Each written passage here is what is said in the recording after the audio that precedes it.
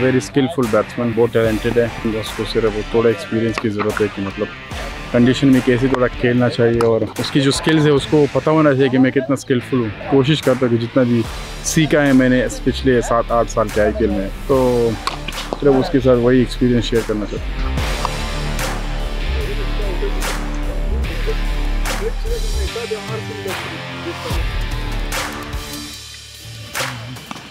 He's doing well. I think he's gonna only learn from here and uh, he's gonna only get stronger and stronger from here. आने वाले जो important matches हैं हमारे उसमें I can't wait to see him you know bat and uh, scoring runs for the team. So he has that ability, skills where he can score those good runs with a good strike rate. So looking forward to his good innings here.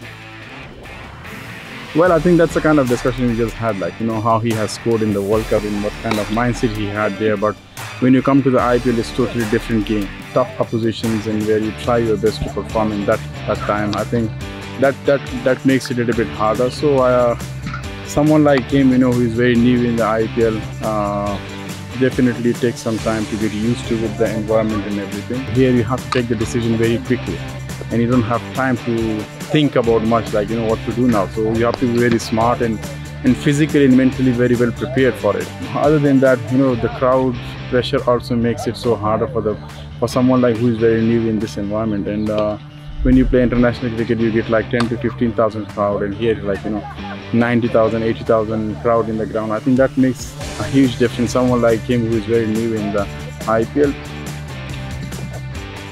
he's enjoying it and I hope he's going to be ready for the next game and uh, looking forward.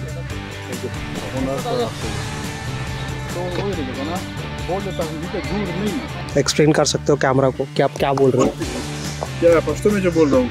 हाँ आज मैंने आपको explain किया तो फिर तो सबको पता चलेगा ना मेरे कोचिंग के बारे में। इसकी एक्सप्लेनेशन नहीं है। ठीक है ये फिर बहुत सीख जाएँगे ये सीक्रेट कोड है। ये पास मत खुद ही कुछ खत्म आ रही है